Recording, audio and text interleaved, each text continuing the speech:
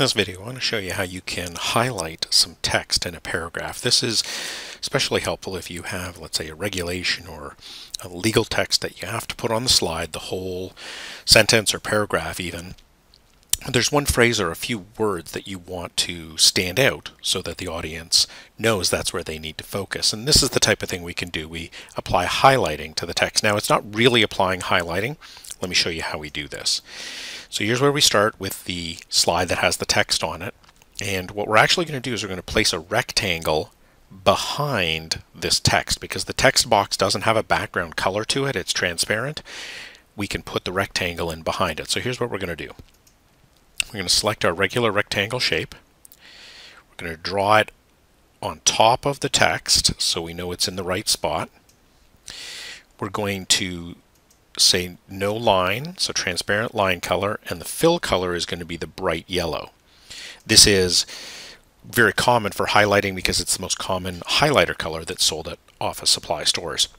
Before we move it in behind the text, we want to add some animation because when we're presenting, we want the whole text to come up and then we want this highlight to come up so that people have the context and then they see, oh, that's the important part.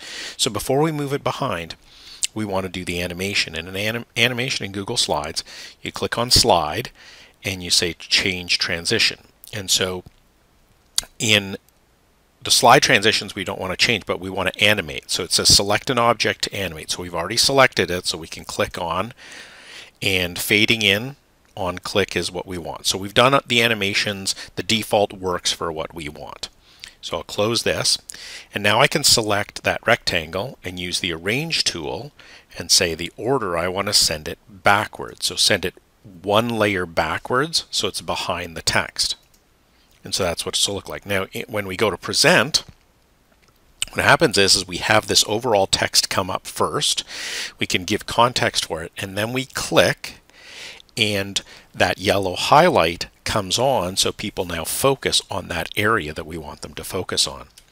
When you use a professional presentation program like PowerPoint, you have more options for the animation. Here, Google Slides only allows you the fade or a simple appear. In PowerPoint, you can bring this highlight on from the left to the right. So it looks like somebody's actually highlighting it on the screen the way they would highlight it in their book if they're following along. So that's what you get when you use a professional presentation program like PowerPoint.